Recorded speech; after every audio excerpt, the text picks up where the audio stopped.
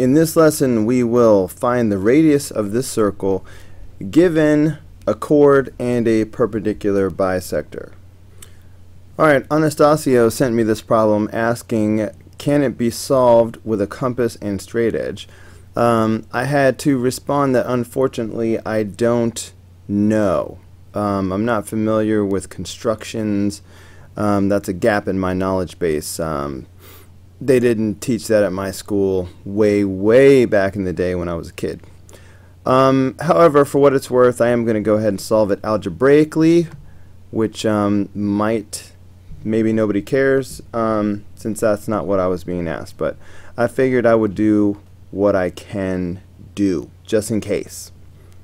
Alright, so the way we would solve this algebraically is um, we're looking for the radius. So um, that means we're looking for this guy right here. I think I'm going to make it pink. Alright, so we're looking for that.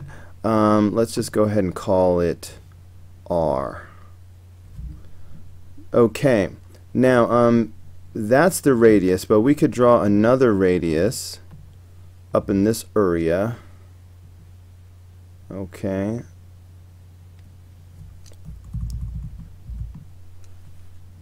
And uh, let's see, I think I'll make this one green. Okay, so that's another radius. But as you can see, because of the way the perpendicular bisector is, um, that's sort of split up into two different parts. So part of it is 3.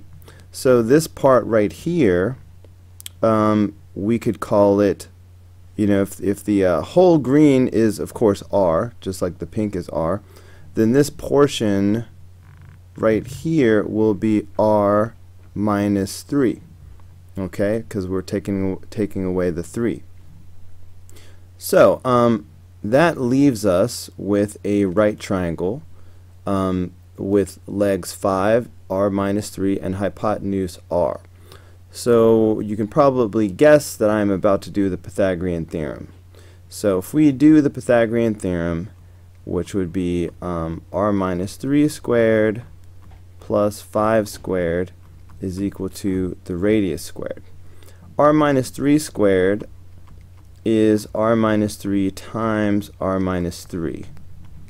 Okay, of course 5 squared is 25 is equal to r squared.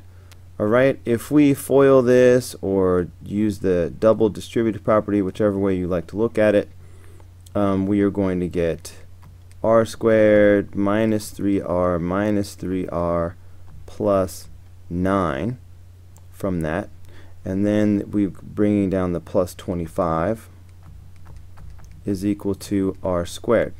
So that's going to be r squared minus 6r plus okay putting these together that's going to be 34 equals r squared now um, notice we have r squared on both sides. So when we go to subtract r squared from both sides, um, they both cancel out. So that leaves us with negative 6r plus 34 is equal to 0. Alright, um, to keep everything positive, I'm going to add 6r to both sides. Okay, so that's going to give me 34 is equal to 6r. So to get the uh, radius by itself, I would divide both sides by 6. Okay, that will leave us with the radius. Um, Alright, now let me just squeeze this in over here. So we find that the radius is, and if we just reduce this, that'll be 17 over 3. Uh, and that's it. That is how you could find the radius. Now, I don't know anything about compass and a straight edge, but um, if I was just asked this question, this is how I would find out what the radius was. Alright, I hope that was helpful. Um, if not, sorry. um, I try, I do so try to be helpful and not hurtful.